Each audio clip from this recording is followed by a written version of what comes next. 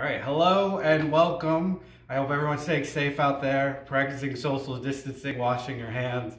So we are here, uh, as if you saw the video on Friday, for the first matchup for our collections bracket challenge or tournament, whatever we're deciding to call it.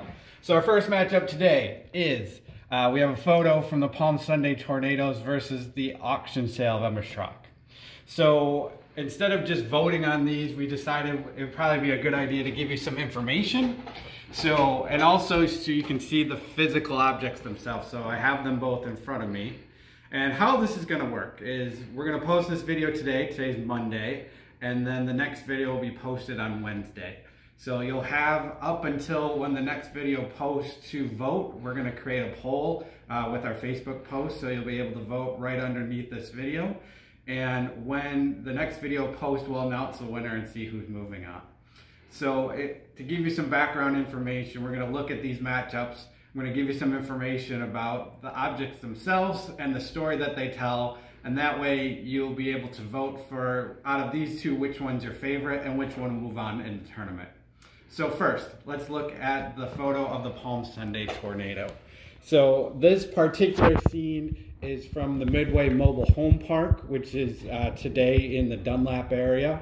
So April 11th, 1965, uh, a number of tornadoes went through the Midwest, 47 tornadoes in total.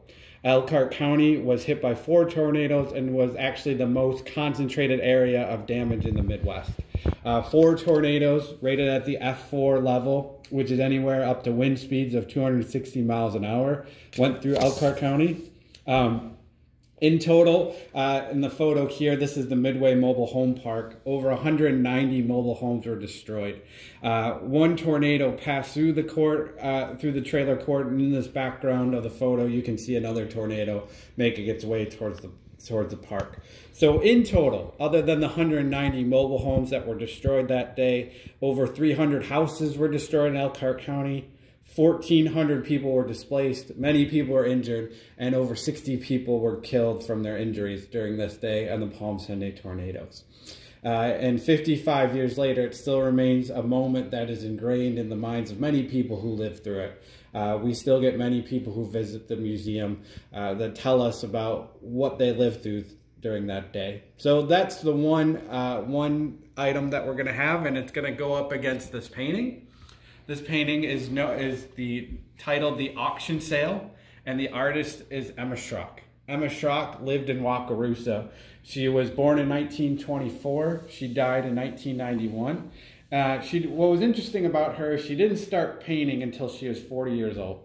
And Emma Schrock needed to come uh, overcome a number of challenges to become an artist. First being her, her faith. She was a member of the Old Order Mennonite community, which actually forbids the depiction of human form. So, but Emma was allowed to paint uh, and create these scenes in order to make a living. Uh, the other thing that she had to overcome is uh, she was physically disabled. Uh, so she was unable to do a number of different types of work and she turned to artistry to help make her make a living. So she had to get uh, permission from her faith community and overcome her disability to paint. When she did start painting, she was actually pretty prolific. Uh, she has over two, uh, what is believed to be over 2,000 art pieces, and was said to, when she would start a painting, com uh, complete most of her paintings in a single day. Uh, the subjects of her paintings, like this one here, uh, are things from her childhood memories or and and or the experience of the Amish and Mennonite community that she saw around her. So she basically painted what she lived and lived what she painted. Uh, and that was actually a famous quote that she talked about when she was talking about the subjects of her paintings. So uh, that's our matchup for today. So we have the Palm Sunday Tornado versus the Emma Schrock painting. So as I said before, we're gonna post this video today on Monday. You're gonna have about four, two days to vote. We'll create a poll right underneath this. Vote for which one you want to see move on. And then on Wednesday, we'll announce the winner and see who's going to move on in our bracket and introduce the next two items that are going to be matching up against each other. So cast your vote, think wisely, place your bets, and we'll see which moves on in the tournament. So that's it for now. Stay safe, everyone.